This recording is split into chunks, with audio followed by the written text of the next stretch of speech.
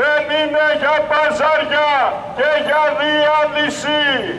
Κάτω τα χέρια απ' την ασφάλιση δεν είναι για παζάρια και για διάλυση.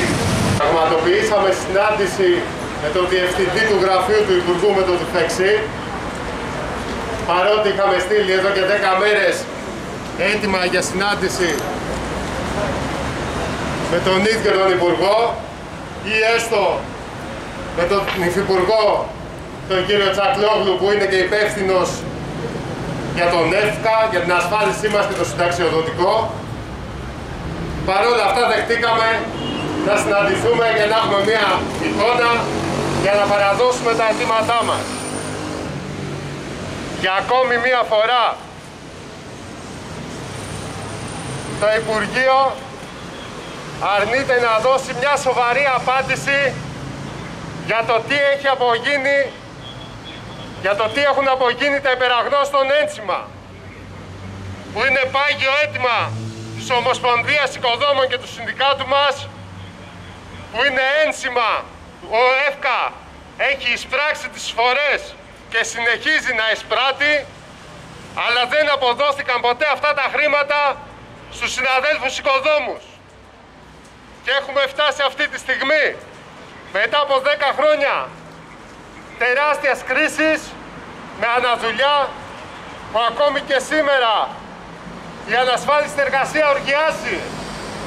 Η δουλειά τα Σαββατοκύριακα η έλεγχη από το ΣΕΠΕ μηδαμινή και φτάσαμε στο σημείο να ανεβαίνει ο οικοδόμος στο μαθαίρι στα 65 και στα 67 χρόνια γιατί αδυνατούμε να συμπληρώσουμε τις προϋποθέσεις που έχουν βάλει όλα αυτά τα χρόνια οι εκάστοτε κυβερνήσεις. Επάνω σε αυτό το συγκεκριμένο αίτημα για τα υπεραγνώστων, ο Διευθυντής είπε ξεκάθαρα. Στην αρχή έκανε την πάπια, δεν ήξερε ότι δεν δίνονται, λέει, τόσα χρόνια, από το 85, και αφού ενημερώθηκε, είπε ανοιχτά ότι αυτά τα βάλει στις τσέπες. Στις τσέπες πιανών δεν είπε.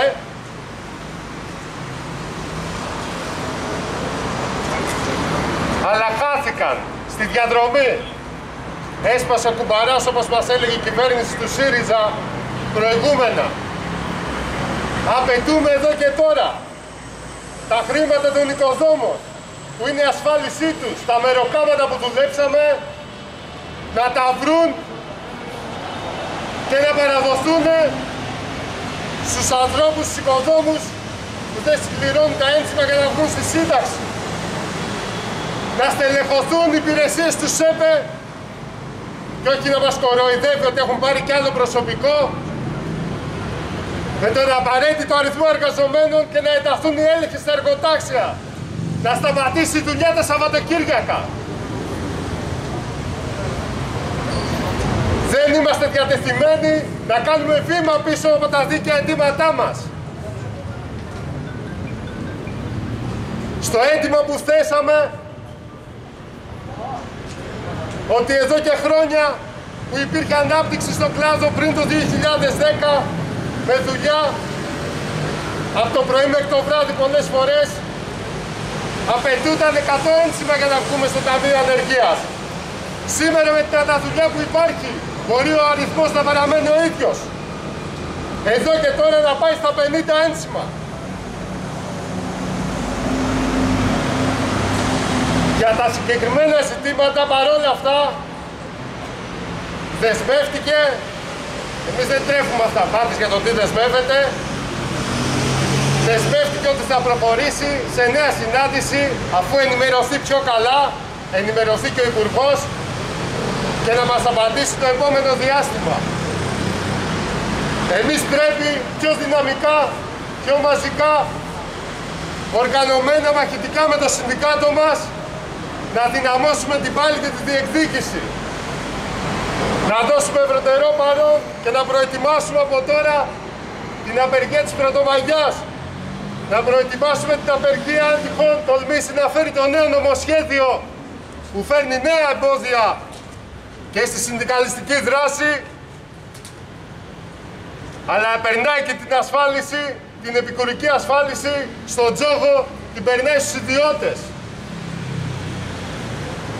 Και σε αυτό φαίνεται ότι η κυβέρνηση έχει πάρει τις αποφάσεις της.